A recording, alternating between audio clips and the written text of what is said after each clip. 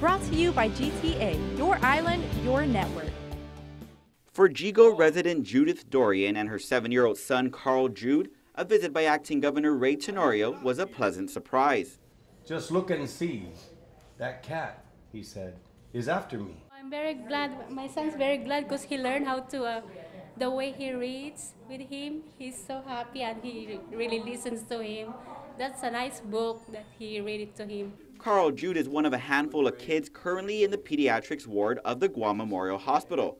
Along with meeting surgical unit staff and the medical telemetry unit, the acting governor says his visit was more than just a routine checkup. We're hoping that, you know, not just uh, visiting the, the people here, but really seeing firsthand the conditions here that, that patients and their families and the employees on a daily basis have to contend with. And while Tenorio says a few water leaks in the pediatrics ward compromises the integrity of the building, it was the infamous Z-Wing that warrants a call for an emergency. Look at this. The entire rebar is gone. The, and if that's true here, the odds are it's true inside as well. The entire piece of concrete literally just pulled off. Look at this. He says they need to act now before the situation gets even more serious. This is the Z-Wing that we need to invest in. This is going to allow for outpatient and other cares that we don't need to do in the emergency room and reduce the total cost and also create revenue for the hospital.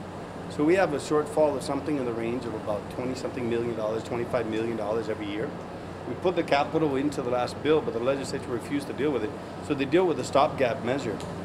This thing will collapse at some point. The question is, do we control it and do it, or do we jeopardize the rest of the structure by not doing it? On July 22nd, Tenorio signed Substitute Bill 340 into law that would only allow for a $45 million loan and bond refinancing to pay GMH's vendors.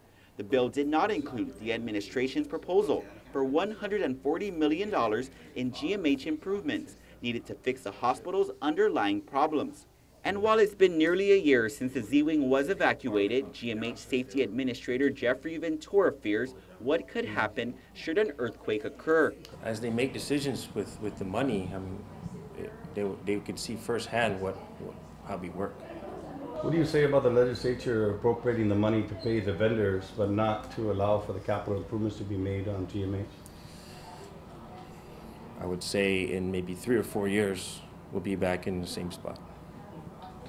And if you build the improvements here, would you generate the revenue to be able to offset the shortfall? It'll give us a chance to start fresh, take care of ourselves. Tenorio, in the meantime, challenges senators, even going as far to say to have an oversight hearing on the governor's Bill 338 at GMH at the very same Z-Wing. I personally challenge each one of the senators to come out here and take a look at the uh, building here at Z-Wing and the inability to use this entire area and ask them to take a look at it and then, like Judi Won Pat said in the last bill hearing, to tell us how non-germane it is. Reporting for Guam's News Network, I'm Ken Quintanilla. Brought to you by GTA, your island, your network.